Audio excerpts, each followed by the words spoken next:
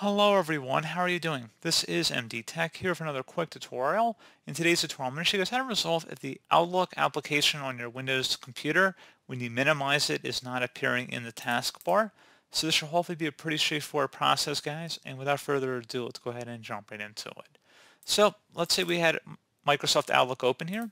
Like most programs, if you were to go ahead and minimize it, it would appear down in the taskbar. But in this case, it just does not.